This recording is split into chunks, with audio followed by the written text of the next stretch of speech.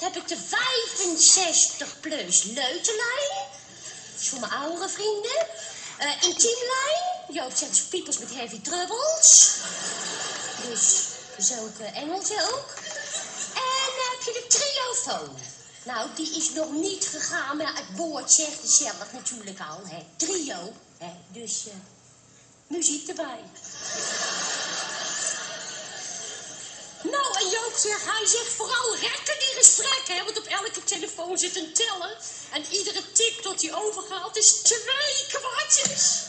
Hij zegt, voor de rest moet natuurlijk enorm heet houden. Dus nou, ik heb een, een das onderaan. Een muts op. Dus koud krijg ik het natuurlijk. En nou maar afwachten tot er iemand belt, hè. Want u denkt, je verdient niks, die telefoon gaat niet. Maar ik heb zes telefoontjes gehad voor de eerste dag, dus prima. En voor de rest heb ik natuurlijk zelf ook zitten bellen. Dus... Want ik had vrienden in het buitenland, nou, die teller ging te keel. Oh, ook moet even nou op gaan nemen, hoor. Want uh, een beeldje weer een uh, vriend. Met de intiemlijn. Wat, wat, u? Uh, nou, uh, nee. Tenminste, nee hoor. Nee. Nee. Nee, ik heb geen kale poes.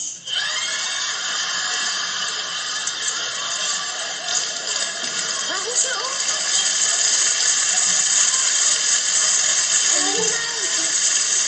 Hoezo? Ben je hem kwijt dan? Nee, nee, maar ik heb wel een goudvis. Ja, ja natuurlijk. Hij vraagt of die nat is. Tuurlijk. Maar je moet toch niet proberen hem af te drogen, dat wil je niet. Ik denk dat het een dierenarts is. Hij moet even rekken, hè, voor uh, de kwartjes. Uh, maar, um, wat ik vraag wel, heb je zelf ook beesten? Oh, mamotje. In, in uw hand, ja, mamotje. In... Oh, dan is hij natuurlijk tam. Oh, die is hartstikke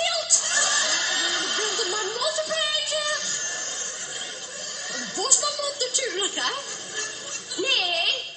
Nee, zie Nee, dat moet u juist niet doen. Nee, want zo maakt je ze wild. Nee, zo ma Hij trekt zijn kop in. Zo maakt je ze wild.